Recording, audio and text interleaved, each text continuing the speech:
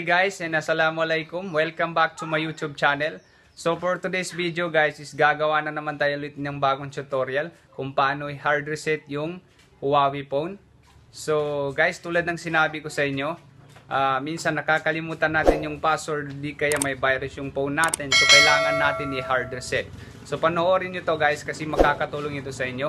So simulan na natin. Okay guys, so first step, syempre isa-shutdown natin.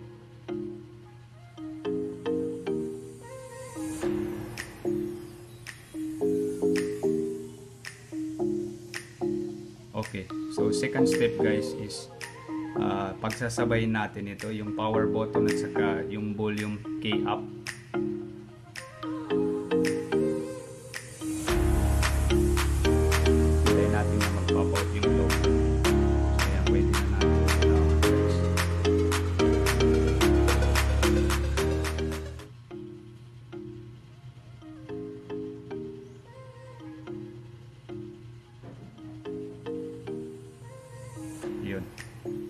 So, dito tayo sa wipe data or factory reset. Pinutin na lang natin dito. Okay. So, dito guys, ita-type natin yung yes.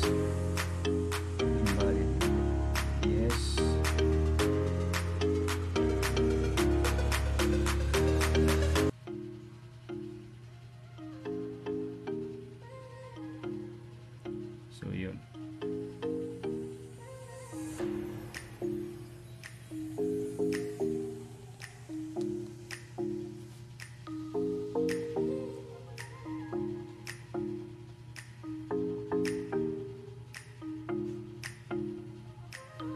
Okay, so i-reboot natin guys.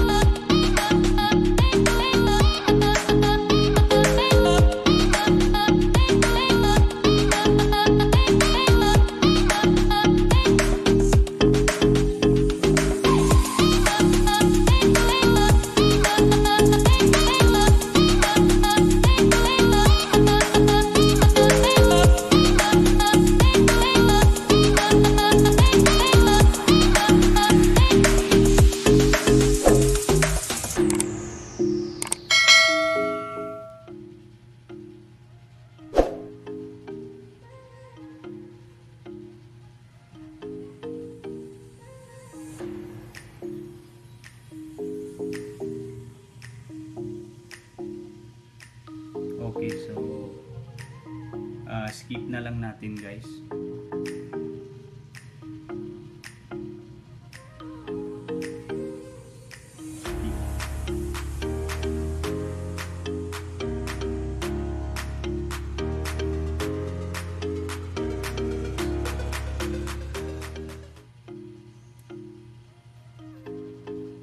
Skip na rin natin ito guys.